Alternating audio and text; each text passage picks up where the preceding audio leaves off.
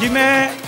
अपने पीर मुर्शद साहिबजादा पीर अनवर मुहैद्दीन आस्थान आलिया सुंदरपुर शरीफ, मैं पीर साहब का दिल की तागहराइयों से शुक्रिया अदा करता हूँ और उनके साथ आने वाले तमाम मेरे पीर भाई भी और तमाम मुज्ज़ अफराज जिनमें मलक इजाज साहब भी, आप सबका दिल की तागहराइयों से शुक्रिया अदा करता हूँ और आपको वेलकम कहता हूँ कि आपने अपने कीमती टाइम में से वक्त निकाला और यहाँ पर आए। Thank you very much.